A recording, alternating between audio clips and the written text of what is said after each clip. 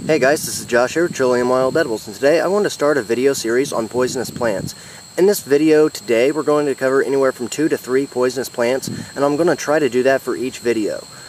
Now the plant that we're looking at here is the notorious poison ivy. This plant is extremely notorious for causing a lot of burning and itching with the rash that it causes on a lot of people. And the reason for that is the essential oils within this plant is what causes the rash. Now if you're highly allergic to it, you're going to develop this rash just by touching the plant. Now I'm not allergic, so don't freak out, not a big deal. Now when it comes to identification of poison ivy, that can be sometimes a little tricky. The reason for that is because there are a lot of variations within the leaves of poison ivy. Sometimes they can even resemble poison oak to some people, and sometimes poison oak can resemble poison ivy. So depending on where you live, you want to make sure that you're aware of poison oak. In Indiana, where I'm at today, there's not a lot of poison oak in this area, so I don't have to worry about that. However, we are going to continue to talk about poison ivy. You may remember that essential oil that I was talking about, and it's called toxidendrol. And that is the oil that, like I said, it seeps in through your skin and it causes a rash. Anywhere, like if I were to get it on my hand, you see this bright, red, puffy, itchy, rashy, you know, it, it just looks horrible. And it itches like crazy on a lot of people whenever they get it. Now, as far as actually identifying this plant, first and foremost, where does it grow? This plant grows everywhere. I usually find this plant a lot of times on the edges of wood lines, like you can see here. Sometimes you can find it on the edges of clearings even. This plant will grow, like I said, almost anywhere. This poison ivy isn't growing anywhere near trees. So that's another thing to keep in mind is you can find it sometimes up against trees and moist areas and low-lying areas. You can find it up on high grounds. You can find it in fields. You can find it in clearings, on the edges of them, on the edges of roadsides, around telephone poles and utility poles. These things just grow anywhere and everywhere they can. And this is just another example of this. Now something you may see that's very noticeable on poison ivy, or at least a lot of the kind that I'm showing you here, is these red tinged stems. That's something I notice on a lot of the poison ivy I see within the state of Indiana, and usually in most other places that I've been within the eastern United States. However, you may be different because this plant, like I said, has a lot of variation to it. But there you can see that red tinge there, and it goes all the way up the stem. You can see it's really dark there at the base of the three leaflets where the stem divides each leaflet. So that's something else to keep in mind whenever you're looking to try to identify poison ivy around your home. There are several variations to poison ivy. There's the ground growing version like you see here, and there's also a climbing version. So be aware of that.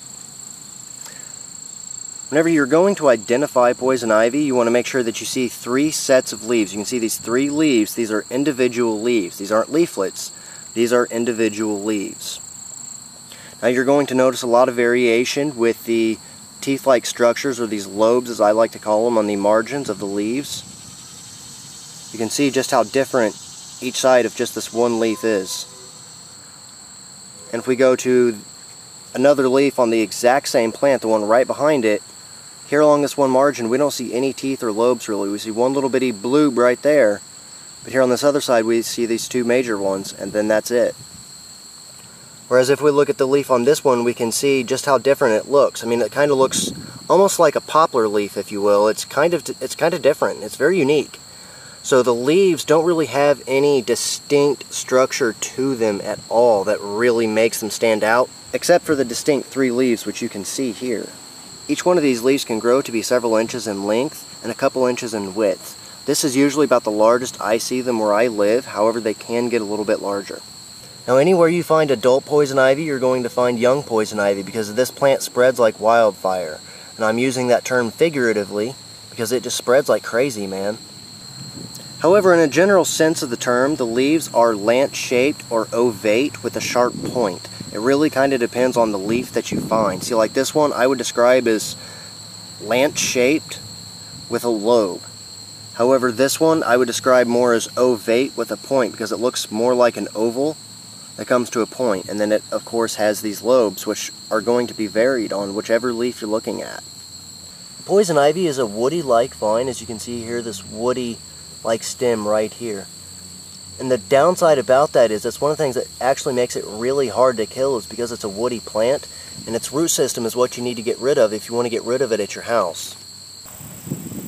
Here's an example of how prolific poison ivy can really grow. All that you see there at the end of my boken, all of that is poison ivy. All of it. You can see all those leaves are starting to change color. You're seeing a lot of specks, a lot of yellow, some reddish tints. All of that is poison ivy. There are a few plants in there that aren't poison ivy, but for easement's sake, that is all poison ivy. Alright, the second plant we're going to talk about today is Virginia Creeper. You can see this palmate leaf here with five leaflets, all with teeth along the edge or the margin of the leaf. A lot of people end up confusing this plant with poison ivy, and some people have confused it with poison sumac, just because, well, a lot of people aren't exactly sure which is which sometimes. Now, poison sumac is a tree, and it looks nothing like this. However, this is a poisonous plant still. Now later in the summer and the fall, this plant actually produces berries as well that sometimes are growing intermingled with wild grapes, and their color is very similar. So a lot of people sometimes confuse these with wild grape berries. And here you can see this Virginia creeper running up the trunk of this tree. And that's exactly what this plant will do, is it'll just climb up things and it doesn't cause any damage. It actually works by these little suction cup suckers that you can see there. And a lot of people actually use this plant ornamentally to help shade the sides of buildings because it doesn't cause any damage to the masonry or the stonework. So that's something to keep in mind if you actually feel like using this plant. It's not harmful if touched, though some people have an allergic reaction to it when they do touch it. That's very, very rare. Most of the time, you're not going to have any issue at all with this plant until you choose to eat it, which you should never choose to eat it because it is poisonous. Now, the berries contain very high amounts of calcium oxalate, and this plant, all plant parts contain a lot of oxalic acid and calcium oxalate crystals. So be aware of that. And if you're very, very sensitive skinned, sometimes just by crushing a piece of the plant, which I'm not going to do because I, I tend to be very sensitive skinned, there are a lot of very sharp microscopic needle-like crystal structures within the inside of this plant that can cause some itching and sometimes rashing or burning sensation within some people. So make sure you're cautious of that. This is one plant that I actually can't handle very much. I've never crushed it. I can always pick it and hold it like this, but I've never been able to crush it without getting some sort of itchy feeling. It never lasts in me for too long, thankfully, though I've heard with some people it can actually last for a couple of hours, and they've kind of likened it to similar to poison ivy, just not as bad. And I think that also might be why some people confuse this with poison ivy. However, another reason for that might be just because right here you can see some climbing poison ivy vine. And I can tell this because again it has these very distinct three leaves. Now again, remember what I said, the leaf shape isn't once distinct. It's the fact that it has three individual leaves. Not leaflets, it's not growing on the ground.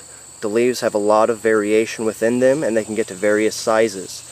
You may also notice this red, oh you can't see it, you may also notice this red or purplish tinge at the petiole, or the base of the stem in the leaf, like you can see here. And here you can see the very woody stem of poison ivy growing up along this tree trunk. Now another thing that's growing up along the same tree intertwined with this poison ivy is that Virginia creeper. So that's another reason that some people may confuse these two. However, they are completely different plants. They're not related in any way. And poison ivy is much, much worse to more people than Virginia creeper. Virginia creeper is more of a worry if you are foraging for wild grapes or if you're very sensitive skin and end up having to pull it and it does cause that itching or that burning or a slight rash. That's the only thing to really worry about with this plant. And here you can see these two growing together and it looks almost as if they're one vine. Until you get up close and personal, and a lot of people won't because if they think anything's poison ivy, they usually just stay away anyways. They don't get near it, which is good. That's good. They're doing it for their own safety. However, we can see the two very different wood-like structures here. And that's because these are two different, two completely different vines and two completely different plants. However, they are both poisonous, and they do both climb up long trees like you can see here. Alright, so the next poisonous plant that we're going to talk about today is poke or pokeweed. Now this plant kind of works both ways. It is edible, and it is supposedly medicinal as well. However, it is also highly poisonous if used improperly, or if the toxins aren't dispelled before consuming. So make sure you're aware of how to use this plant whenever you do try to eat it. The only edible part of this plant, to my knowledge, are the young shoots whenever they're under six inches in the early, early spring. Other than that, like in this stage right now, This entire plant is extremely deadly poisonous if consumed. This time of year, it's very hard to mistake poke for anything, and it's a very easy poisonous plant to identify. Thankfully, because of how tall that it grows. Here you can see a close-up of the berries and some of the flowers on pokeweed. You can see how they grow in this like a spike or a raceme that hangs away, it droops away from the leaf axils. You can see here's the axil of the leaf on the stem, and you can see here's this spike or this raceme coming out with the flowers and some berries. Here you can see a very, very small raceme of flowers and berries getting ready to come out here out of this leaf axil. Whenever these berries start, they start off white and then they turn to their dark purplish color. They go from white to red to purple and then to a black and then they start to dry out at that point. Now the deer absolutely love to eat these berries, so if you're a hunter and you find a lot of pokeweed somewhere, might be a good spot to set up because you know the deer are going to be there eating. The stem of pokeweed almost always in my experience is fully red, usually on one side, sometimes the underside, as you can see here, is green. You can see this division between the two colors right there very, very well. So that's something that's very unique to poke in my experience. Poke has a very, very thick stem that looks like it's splotched with pink or purplish, like you can see here running up and down. The stem is very stiff. It looks like it'd be soft, and it kind of is. You can dig into it with your fingernail really easily, just like you can see there you can just simply take your thumb and break it just like that. So it's very easy to get rid of, and of course it's an extremely noxious weed, so I'm not hurting anything by doing that. Now the leaves of poke are very simple. They're lance shaped, they're kind of long, and you may notice that they're smooth along the edges or the margins of the leaves, meaning that there are no teeth, there are no lobes. You may also notice that the leaves on pokeweed will alternate. You'll, wherever you see one leaf, you'll then see another one growing up, and then they will continue to alternate all the way up the plant. However, in some cases, you may get out of a node, you may see another stem rising out that'll give way to new leaves. And you may sometimes find those opposite of where you see leaves, a leaf, or a stem that's going to make new leaves. So that's something else to keep in mind is that more stems can come out of each node on this plant and create more stems, which will each have more leaves. And here right on the ground, right in front of all that poke, you can see a whole bunch more of this poison ivy. So that's something else to keep in mind that sometimes you're going to find a lot of poisonous plants right next to each other.